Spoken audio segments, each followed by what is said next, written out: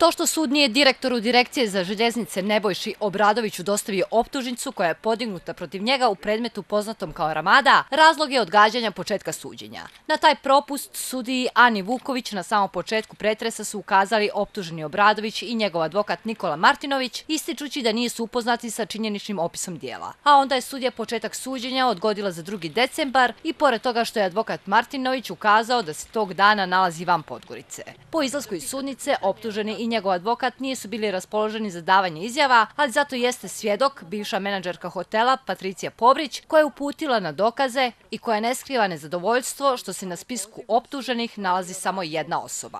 Samo želim reći da je sramno da je tužilaštvo stalo, što bi se reklo u ovom slučaju, na pola puta.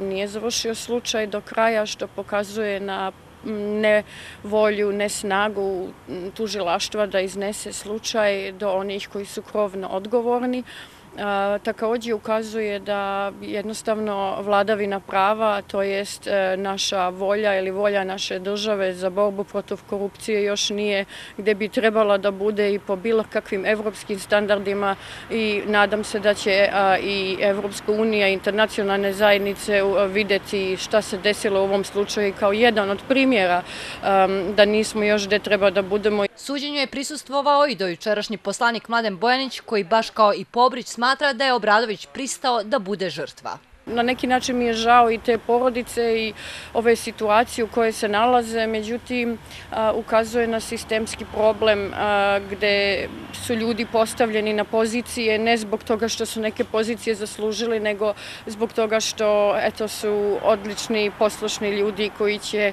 stati ispred određenih da ih zaštite u ovakvim slučajevima. Meni to sve liči da se čeka da se izabere predsjednik Skupštine Ovaj, onako kako je najavljeno, pa ćemo onda ovo odlagati u nedogled i naravno na kraju će se sve verovatno završiti pretpostavljam nekom uslovnom kaznom ili e, onako, nekom minornom kaznom samo na čovjeka koji u suštini je možda u svemu ovome i najmanje kriv.